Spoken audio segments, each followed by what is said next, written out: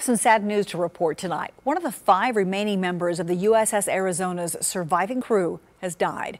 According to the Pearl Harbor National Memorial, Lonnie Cook passed away this morning at the age of 98. We had the honor of speaking with him just two years ago about the bombing at Pearl Harbor. After we were able to go out on deck, we took people off coming out of the compartments. Uh, some of them were burned so bad, uh, they, they called me by name. I couldn't tell who they were. There were only 335 servicemen aboard the USS Arizona who survived that attack.